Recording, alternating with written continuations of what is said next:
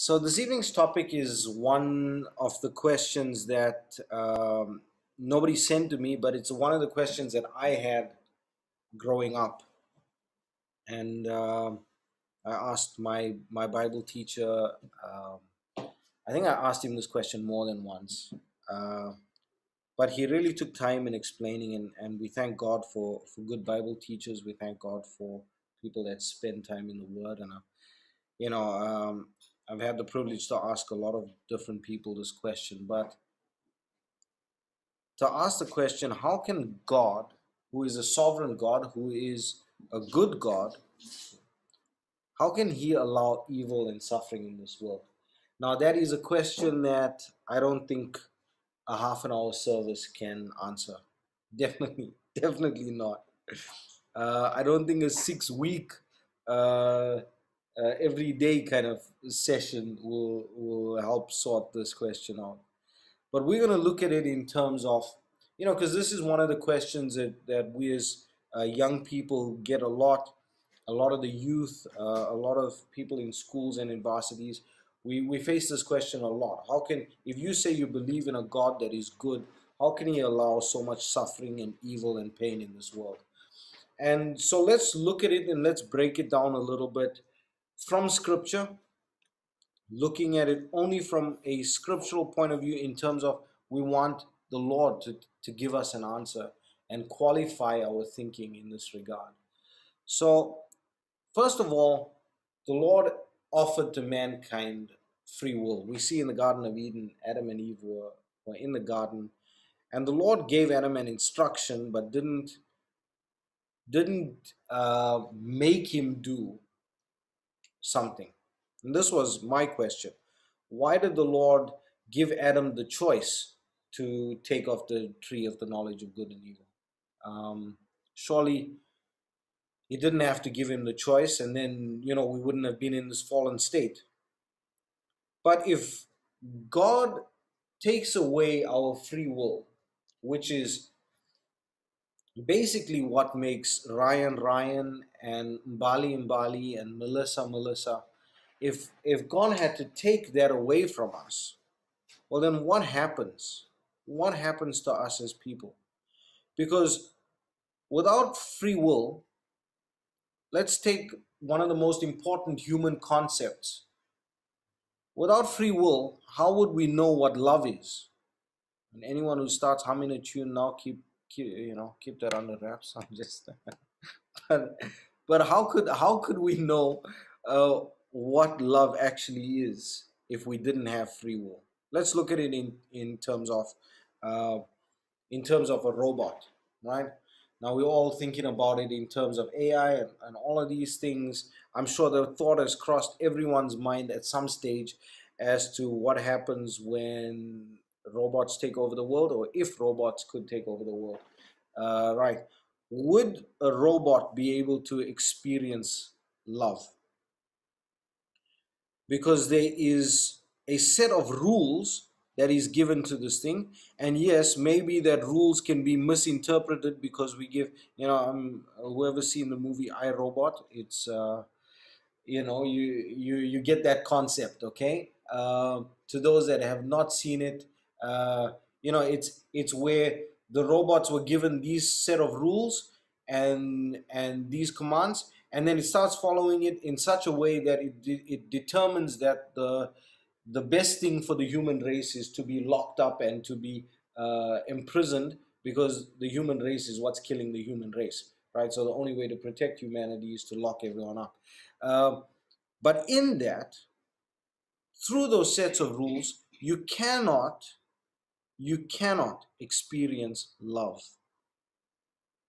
Through, the, through a set of rules and a programming, you cannot, sorry, you cannot experience uh, hate. You cannot experience joy. You cannot experience anything that we hold dear as humanity. You would not be able to experience. And when we think about things, if you are at a point and we know at this time with COVID, and this is one of the reasons this question came to my mind again, because so many people are passing away and so many people are infected and so many people are living in this doubt as to you know, if I have the sickness, am I going to die tomorrow? And I've been at a stage in my life where I've where I didn't know if I was going to wake up the next day, uh, sitting in hospital, and and at that time, the things that you've accumulated and all of these things in life, they don't matter anymore. What hap- What matters is the experiences and the people, the love and the joy that you share. And if we were programmed by the Lord, then we would not be able to feel this. And that's why the Lord has given us free will so that He could know who loves Him.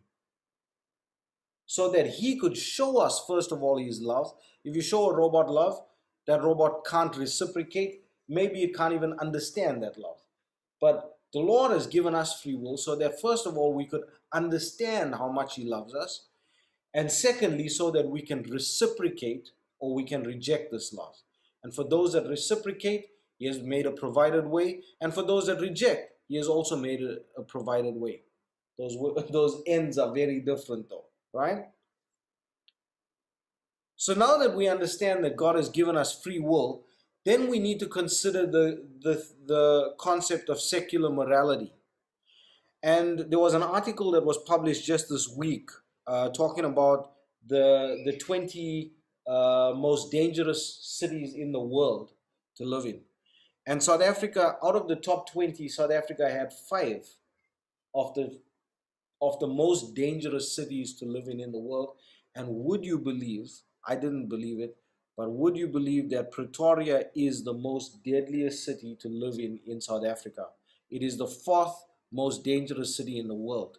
I'm sure the Pretorians would argue with me that Joburg is much more unsafe, but yeah, this is what the stats say. Okay. Um, uh, I also thought Joburg was more dangerous. PE was on that list, which for some reason doesn't, eh, you know, the friendly city doesn't seem like uh, people are, are, are as dangerous as Joburg. Anyway, that's what it is. So South Africans should be the last people on earth talking about secular morality. Secular morality means that if there is no overarching law or if there is no religion that is that has provided law that people would still live in harmony with each other that's what secular secular morality means it means do not govern me i will govern myself and if everyone just governs themselves there won't be crime and there won't be uh, you know uh, life will carry on in harmony. But because you give us the rules that's why we want to break the rules. It's a it's a stupid argument. I mean any anyone with uh you know any anyone that looks at it from an intellectual standpoint will see the the problems with saying that there is such a thing as secular morality. But when we come back to scripture the biggest problem with secular morality is its most its one most underlying theme and the, and the most underlying theme of secular morality is me. I will govern myself. I will do what is right for me and my family. I will pursue my goals and pursue my happiness. This is secular morality. This is what secular morality is born out of. And we have seen in, in Sunday study and in a couple of studies that we have done so far that the one thing that the Lord has come to save us from is myself. I know Ryan. Right? Ryan on the outset, on, on the outside, and to a lot of people looks like he's got it together for the most part. Most people that get to know me for more than five days know that I don't have it all together. But I'm trying. But I know Ryan better than most people. And I can tell you one thing that if the Lord hadn't saved me from myself, and if He doesn't save me from myself on a daily basis, that I would actually be a wretch. Uh, still, still am, but I would actually be the most useless human being known to mankind if the Lord doesn't save me from myself. The laziness, the getting upset, or the whatever it is all of these things. That's what the Lord comes to save us from. And that's what secular morality is preaching. And this is where scripture defies what people are saying outside in the world. And the Bible clearly says, Paul is talking, now Paul is one of those Christians that we all look up to. And Paul says, I die daily. He needs to. He needs to kill off his own me. Not that he mustn't have joy, he must have joy. Not that he mustn't be ambitious, he must be ambitious. The Bible says, do not be slothful in business. The Bible says, the joy of my salvation. Restore to me the joy of my salvation. All of these things. But what he needs to kill off is that wanting more by any means or wanting, uh, pursuing my joy by any means. And the Bible speaks against that by one concept. And the concept that is made possible through free will, which is love one another. Romans chapter 13, verse 8 says, Owe no man anything but to love one another. For he that loveth another hath fulfilled the law. Now he's going to break it down for us. Let's listen carefully. For this thou shalt not commit adultery. Why don't I commit adultery if I love someone else? Well, because if I love my neighbor, I won't steal his wife. Right? We can understand this concept. Thou shalt not kill. If I love someone, even though they did harm to me or even though they they irritated me at some stage or whatever, but if I love them, I can be annoyed with them, I can be angry in that moment, but I do not kill this person because I love them. You know?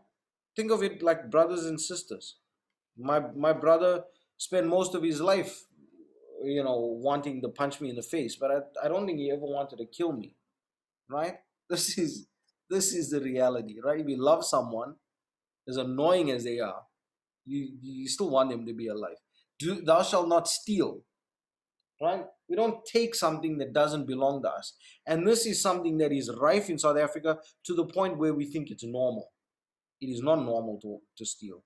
It is not normal to be stolen from. Thou shalt not bear false witness. This is twofold, right? And it's something that we don't really consider sometimes. Uh, thou shalt not be bear false witness means you're not allowed to lie about someone, right? It also means you are not allowed to gossip about someone. Whether you believe that that gossip is the truth or not, you are telling one side of a story, and that is bearing false witness. Gossiping is of the devil, please. We as young people, let's not let's not carry on that that nonsense. Right? Thou shalt not covet. If someone has something, we don't we don't want it to the point where we would we would uh, you know uh, lie to the guy and steal it or whatever whatever. We do not pursue things with the heart that is uh, you know you know with with with uh, with an evil heart. We do not pursue something with an evil heart. If there be and if there be any other commandment it is briefly comprehended in the same namely thou shalt love thy neighbor as thyself. So he's saying if there be any other commandment i'm talking about going through every single law that is in the, in the bible. Every single commandment that the lord has given it can be comprehended. Not that it it can be done. You still have to keep the law but it can be understood. Comprehension is to understand something. It is briefly comprehended in this saying i can I can understand the format. I can understand the format of it, or the overarching or underlying uh, concept of this, namely, thou shalt love thy neighbor as thyself. If I love my neighbor, I will keep these things. Love worketh no ill to his neighbor. Therefore, love is the fulfilling of the law. In 1 John 4, verses 7 and 8, it says, Beloved, let us love one another, for love is of God, and everyone that loveth is born of God, and knoweth God. He that loveth not knoweth not God, for God is love. Right? So if we don't love one another, don't say that you love God. It's that's a fallacy. If you don't love one another, then you are not born of God. And maybe it's hard to love someone and maybe you're not born of God yet. I, I trust that everyone on this call is born of God and, and has love for, for their neighbor. But when you're speaking to someone and someone says, No, but in my heart I really hate you, well, then they're just not born of God yet. Bring them in, pray for them. They can be. Right? Everyone has a time for being born.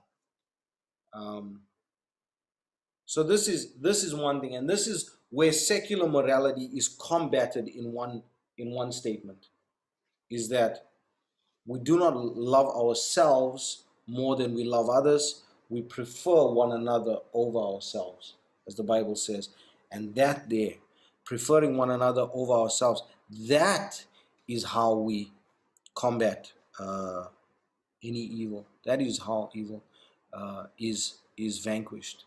Now I put a, a picture on the first slide and I didn't talk about it, but the the one statement that I always got from my Bible teacher and it was a picture of Henry Ford and his Model T, and uh, I asked the question, how did God allow suffering? And uh, my Bible teacher, uh, Brother Rudy, um, for for those that know him, he said to me one day, he said, "Why uh, God uh, or, or Henry, Henry Ford invented a car. And one day he was looking and he went to a scrapyard and he saw a couple of those uh, smashed up cars in there. And someone asked him, Why did you make such a well why, why did you make such a scrap of metal? Do you think Henry Ford would have taken that question uh, lightly? If someone says, Hey, hey, that uh, Why'd you make such a mess? And I often thought about that. He didn't create uh, that wreckage there. He created something that is good. And if we, you know, for anyone that has lived without a car for a little while, you know what uh, what a necessity it is in this day and age. You can't do you can't do much without a car. You need transport, right? And that's what he built. He built a mode of transportation. He built something that is good, but it is those that have not followed the law using those vehicles that have wrecked the vehicles that has, you know, uh, to the point where following the law in terms of driving the speed limit, in terms of indicating when you're turning, in terms of, you know, uh, keeping a, a fair distance behind someone, all of these things it's absolutely necessary. And if you don't do that and meet in an accident, is that the car manufacturer's fault? Not at all. It's your own fault. So when God created the earth, He gave man a free will. But it was what man did with the free will that has brought the, uh, the country, our state, our province, and even the entire world into such a state. We have allowed this to happen through our own lust, through our own, uh, through through our own me, if I can say it that way. The Lord did not create it to be so. And that is an answer that has always stuck with me and has always made sense to me. Yes, the Lord created the world. He gave us rules to, to follow. Those rules weren't given so that He could lord it over us and just and just watch us fail. No, that's not the purpose of the law. The purpose of the law was for our protection. What was the law? Do not kill. Yes, that is for our protection. Do not steal. Yes, that is for our protection. Uh, do not bear false witness. Right? All of these things. Honor thy father and thy mother. That is for our own protection. Because our parents know better. We don't think so at certain ages, especially 13, between 13 and 25, we think we know a lot more than we do. And that's where the parents' guidance and all of these things come into play, and we see so many times how that has saved us from things, right? We see, you know, when, when we get a bit of gray hair, we'll see these things. But how wonderful it is to see these things that the Lord has put that law in place for even our protection, right? So we must remember that. And let's look at the concept now of suffering. So we, we went through a bit of why, uh, you know, evil, right? Why does the Lord allow evil? He doesn't want there to be evil, but He has given man a free will, and man has chosen evil and continues to choose evil. And how do we combat that? by giving up ourselves. Right? That's in a nutshell uh, that concept of evil. Now let's look at the suffering. And I want to go through some scriptures now. In 2 Corinthians 12, verses 6 to 10, it says, For though I would desire to glory, I shall not be a fool, for I will say the truth. But now I forbear, lest any man should think of me above that which he seeth me to be, or that which he heareth of me. And lest I should be exalted above measure through the abundance of the revelations, there was given to me a thorn in the flesh, the messenger of Satan to buffet me, lest I should be exalted above measure. For this thing I besought the Lord thrice that it might depart from me. And he said unto me, My grace is sufficient for thee, for my strength is made perfect in weakness. Most gladly, therefore, will I rather glory in my infirmities, that the power of Christ may rest upon me. Therefore, I take pleasure in my infirmities, in reproaches, in necessities, in persecutions, in distress for Christ's sake. For when I am weak, then am I strong. Paul is talking here and he's saying, there's this, you know, people people sometimes think of me higher than they should think of me. And people exalt me more than they more than they should. And and let's let's speak honestly and bluntly to this point. Yes, there are ministers of God, true ministers of God, that we have respect for and that we love, right? And this is a necessity within Scripture. We have to give honor to those that carry the word. But we do not exalt any minister.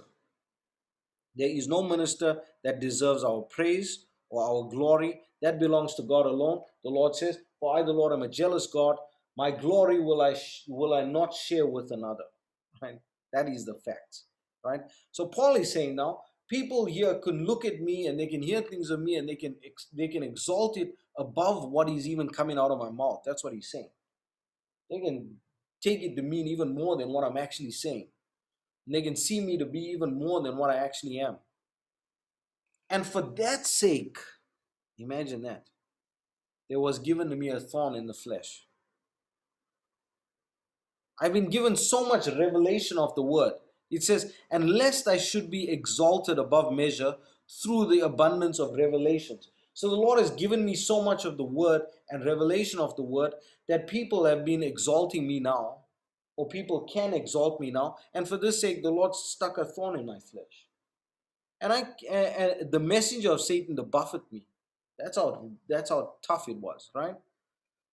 And it says, For this thing I prayed three times to the Lord. And the Lord just came to me and said, Whoa, the thorn is going to stay. My grace is sufficient for thee. My strength is made perfect in weakness. Now, why does the Lord allow suffering in this world? And I promise you, sometimes when you're going through the suffering, then it's not nice to think about it in this way. Now, when we're all well and good, we say, you know, yeah, the Lord uses suffering for His glory. That's buck up, brother. Pull up your socks, brother. The Lord uses your suffering for His glory. It's not so nice when we're going through it, right? And uh, when the shoe is on the other foot, it's a bit more painful. But the reality of it is that the Lord uses suffering for different purposes within humankind. And in this case, He's saying, I want you to know, I want you to know that although you have all of this preeminence above your brothers and sisters, talking to Paul now, and when we look at it in our lives now, you have you've worked hard in your job, you achieve a certain goal within your job, you're now a CEO, and because you have this preeminence now, you've achieved this preeminence. The Lord doesn't want you to boast in your own glory. And for this sake, he gave Paul a thorn in the flesh, a thorn that really it, it hurt him. It says the messenger of Satan, that's what he calls us, to buffet me. And then after that, when the Lord says, My strength is made perfect in weakness, when you are weak, I want to come in and I want to minister to you. I want to work with you. I want to work through you then Paul says, well, then, then forget everything else. Then my pleasure is in my infirmities because the Lord works through me and with me in my infirmities. My pleasure is in my reproaches because that's when the Lord is working in and through me. The, my pleasure is in persecutions and in distresses because that's when the Lord works in and through me. That is when He comes to the fore and I'm put in the background. And if, if we could only know how wonderful that is when He is in the front and we are just behind Him holding on to, his, to the hem of His garment with our whole might so that we can follow wherever He's leading. If we only understand how beautiful that is, what a privilege that is, maybe it'll make us understand the concept of suffering a little more. But let's look at the thorns in our life. And, and let's look at the power that it has over us. Right? I'm going to talk through this a little quickly, but please, uh, you know, message me or something if you if you want to talk through this a little bit more in detail. But in Genesis chapter three, the Lord curses. Uh, you know, the man has fallen. The Lord uh, gives the curse to the serpent and to the woman and to the man, right? And it says, And unto Adam he said, Because thou hast hearkened unto the voice of thy wife, and hast eaten of the tree of which I commanded thee, saying, Thou shalt not eat of it, cursed is the ground for thy sake. In sorrow shalt thou eat of it all the days of thy life. Thorns and thistles shall it bring forth to thee, and thou shalt eat the herb of the field. Uh, I wish Celeste was on the call, then I can tell her the the herb was a curse. I want to have I want to have more uh, tasty meat and, and those kind of things. No, I just I just play. Sorry. In the sweat of thy face shalt thou eat bread, uh, till thou return unto the ground, for out of it was thou taken, for dust thou art, and unto dust shalt thou return. So, what will come forth out of the ground as a curse to mankind? The thorn will come forth. What, did, what was niggling Paul? What was that persecution of Paul? I don't want to say niggling. What was the persecution of Paul? It was the thorn in the flesh. Right? What is that thorn that the Bible is talking about? In Matthew chapter 13, verse 22, we see what that thorn is. And he also that receiveth seed among the thorns is he that heareth the word, and the care of this world and the deceitfulness of riches choke the word, and he becometh unfruitful. What are the thorns and the thistles? It is the care of this world and the deceitfulness of riches. When we look at secular morality or when we look at the pursuit of happiness to the point where we put it above everything else, that is a deceitfulness of riches. We want what we want and we will get what we want by any means. That is a deceitfulness. And the care of this world is I need to do certain things to get certain things. And that creates an anxiety, it creates pressure. Imagine if we worked without, uh, I, I don't think you can ever work your best without any pressure, but imagine if we didn't have unnecessary pressure in our jobs. How wonderful our jobs would actually be to us. But it is the care of this world that is a burden to us. But as children of God, as those that have accepted the blood of Christ to wash away our sins, there is a redemption. And in Matthew chapter 27, verse 29, it says, And when they had platted a crown of thorns, talking about the Roman uh, centurions, when they had platted a crown of thorns, they put it on his head and a reed in his right hand, and they bowed the knee before him, mocking him, saying, Hail, King of the Jews. And what happened to that thorns? They pierced his brow, and they were covered with the blood of Jesus Christ. That curse is broken to those that would accept and those that would believe. So the thorns that are in our flesh, that suffering of humankind, it can be used for the glory of God if it is covered by the blood of Jesus. And if we do not accept the blood of Jesus, well, then that curse is on us. I hope that makes sense, but I'm glad to talk more at length about it to anyone that, that, that would. Or if you want a separate study on that, please just ask and we'll, we'll do that. Okay, I'm going to fly through the rest of it. So, what are the other purposes of suffering? Right? In 1 Thessalonians 5.14, it says, Now we exhort you, brethren, warn them that are unruly, comfort the feeble-minded, support the weak, be patient toward all men. It's talking about people in the assembly, right? And then it says, warn them that are unruly. Oh, we don't like unruly people in our assembly. We will sort them right out. Comfort the feeble minded. No, we don't accept simpletons here. We speak only to the doctors and the lawyers in our assembly. So if you don't like it, go find another assembly. Support the weak. We don't like weak people either. It makes the rest of us look bad. Be patient toward all men. But God, in His sovereign, in His uh, sovereignty, He could He could change these people if He wanted to, right? That's a fact. I mean, if we say God is all powerful and God is good, He could have made them not to be unruly. He could have made those not to be weak. He could have made those not to be feeble minded. But yet He allows it and He continues to allow it within the church, right? And He tells us now, first of all, in, in 1 Thessalonians 5, he talks to the ministers. It's talking about the ministers, but he's talking to the people on how to treat the ministers. And then it says to the people, I'm exhorting you to everyone in the assembly, not just the leaders, not just the ministers. Warn them that are unruly. So go and speak to them, go and challenge them, show them scripture. Comfort the feeble minded. If they don't understand the scripture, go and comfort them. Don't tell hey, I also didn't understand this thing. Let's work through this together. Support the weak, those that don't have the strength. First of all, you know, in in emotional eh, in, in an emotional state, they are weak, and support them in an emotional way. If they are weak in prayer, go and pray with them, help them. If they are weak in anything, if they are weak in their business, if they're, you know, just say someone is is suffering with laziness, Go and help them. Go and talk to them.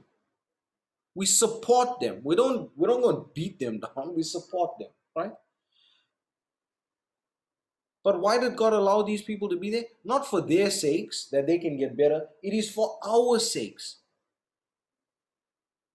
Because every one of us spends some time as one of those.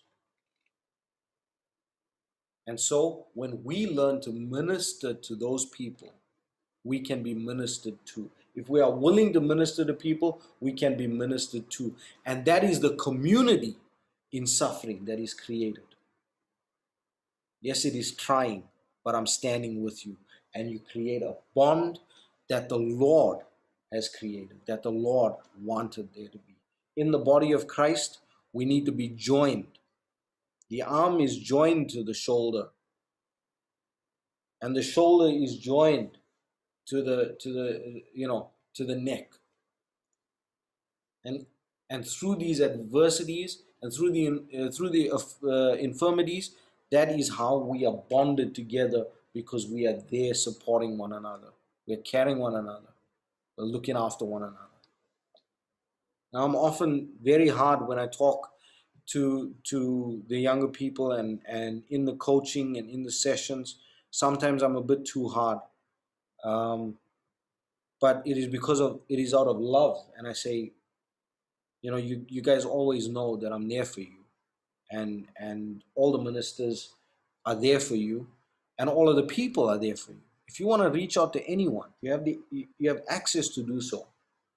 Reach out to them and say oh you know uh, eh, uh feel feel led of the lord to speak to uh, the person that you're going to speak to. Don't don't just speak to someone because uh, you don't want to speak to someone else, or, or, you know. I don't know how to say this without being too blunt. Don't don't speak to someone because um, you know out of a physical nature. No, we we we we you know if you're attracted to someone, don't speak to them and and and say I want to talk to you about my prayer life and stuff like that. Don't you know this is not meant to be used like that.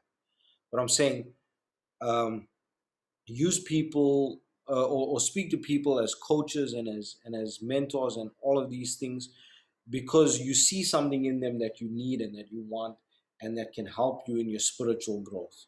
The other stuff is for other times. I don't use the word of God for for your own intention. That is secular morality again, right? That that is that is not what we're preaching. Acts chapter 20, verse 35, it says, I have showed you all things, how that so laboring you ought to support the weak and to remember the words of the Lord Jesus, how he said, It is more blessed to give than to receive. What is he saying? He's saying the blessing is to those that support the weak. The blessing is to those that warn them that are unruly. The blessing is to those that comfort the feeble minded. So why why do people go through suffering? And why are they there? Well, they're there for your sake. And when you are going through that suffering, you are there for their sake. Right? Quickly, the, the five purposes of suffering. And uh, it's just broken down into five. There are more, but these are the five uh, that I've gone through. And the first is repentance. We go through suffering because the Lord shows us that we need to repent of our sins and ourselves. In Luke 13, verses 4 and 5, it says, uh, Or those 18 upon whom the tower uh, in Siloam fell and slew them. Think ye that they were sinners above all men that dwelt in Jerusalem? So there was a tragedy that happened there. There was a tower in, in Siloam and it fell on 18 people and they were and they were killed. Right? Then the Lord is asking, Do you think they were worse sinners than the other people that live here? I tell you, nay. But except ye repent, ye shall all likewise perish. So when we see suffering in the world, it should give us the zeal to repent of our sins.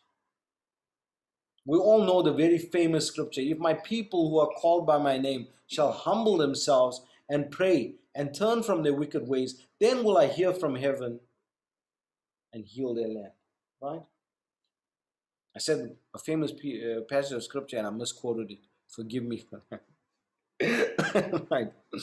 Uh, bad, bad form. Okay, next one reliance. Um, in 2 Corinthians 1 8 and 9, it says, For we would not, brethren, have you ignorant of our trouble which came to us in Asia, that we were pressed out of measure, above strength, insomuch that we despaired even of life. They were persecuted so badly that they, they wished they weren't even alive. But we had the sentence of death in ourselves, that we should not trust in ourselves, but in God, which raised the dead. When we see suffering, when we see death, we know that the Lord raised from the dead. And he has the power to raise anyone from the dead that would associate themselves, that would identify themselves with him. As you are buried together with him in baptism, so shall you be raised up to newness of life. Right? So when we see suffering, it should instill in us a feeling of reliance on him. Right?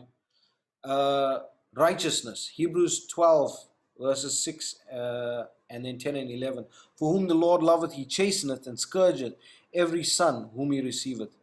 For, uh, for they verily for a few days chastened us after our own pleasure, after their own pleasure, but he for our profit, that we might be partakers of his holiness. Now no chastening for the present seemeth to be joyous, but grievous. Nevertheless, afterward it yielded the peaceable fruit of righteousness unto them which are exercised thereby. What is it saying? It says, when I'm going through the suffering, it's not nice, it's grievous. But afterwards, it yields peaceable fruit. Right? And that's what the Lord wants. He wants us, He is calling us to righteousness. When we go through suffering, it should call us back to righteousness that we know these things work together for our good. Another purpose for suffering is reward. 2 Corinthians 4:17 says, "For our light affliction, which is but for a moment, worketh for us a far more exceeding and external weight of glory. I've gone over time. I wanted to spend time on this one because I have a testimony that, that happened yesterday. I will send the testimony on the group chat and then uh, maybe maybe uh, say it on Sunday as well. An amazing testimony that you know we go through these light afflictions which seem like the world to us at that moment, but it work worketh for us a far more exceeding and external weight of glory. There is something on the other side. It, you know, when we go through suffering on this side, we say, Yes. When I get to that side, there's not going to be any of this. And when we see someone pass on, it should give us a joy in our hearts. Obviously, we feel sad, but it should give us a joy in our hearts if someone has passed on in Christ because we know that they are going to a better place and they're going to be there waiting for us because that's where we want to be. And the fifth one is as a reminder. When we go through suffering, we are reminded of Christ. Philippians 3:10 that I may know him and the power of his resurrection and the fellowship of his sufferings being made conformable unto his death. When I go through these things, I remember that he went through them for my sake. He has taken the curse on himself. So we are not cursed by these things anymore. These things now are just there to show us that this life is not the end goal. It's reminding us that we are associated with Him and we identify with Him. Through suffering, we see a different side to God that we have not experienced.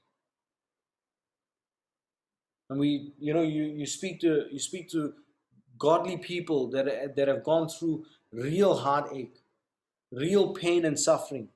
And i was listening to a testimony of a parent that had a, a child that that was uh, that was struggling with a, with an illness a bad illness and he said and they would pray for other children and those children would get healed and his son was not getting healed and he said but i I know that the Lord is using this for His glory. And I think that a parent that can say that, man, that is that is an insight into God that we sometimes don't understand even. But we see a side to God that we cannot experience outside of that because God says that He is a comforter. And if we do not have something to be comforted from, then how can we experience Him as a comforter? The Lord says He is a healer. If we do not have sickness and, and, and pain, how can we know what healing is? To experience Him as a healer, to experience Him as a redeemer. How could we if we weren't lost? To experience Him as a strong tower. How could we if we weren't afraid? To experience Him as a restorer.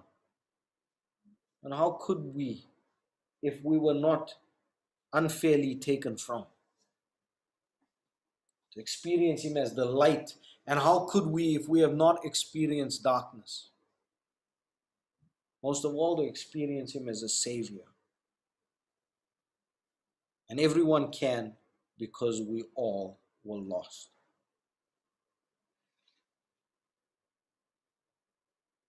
Got more slides, but I want to end here this evening. This is a purpose for suffering. We don't want suffering. And the last thing I want is to see my brother or my sister in pain and in distress. But that is why we are there to act as, you know, they, they, uh, their brothers and their sisters. Uh, there's no better way to explain it.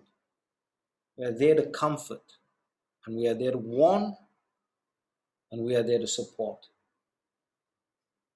And when we do that together, the Lord comes on the scene and He manifests Himself. Allow the Lord to work through you, allow the Lord to minister through you by doing what He says in His word. Be His hands and feet. If you don't, He'll do it anyway. You just will do it with someone else, and you've lost that opportunity. Be there and do these things. I'm sorry I've gone on a little long, but I pray that it was um, somewhat of an answer to a very difficult question. And I pray that it was a blessing to you this evening.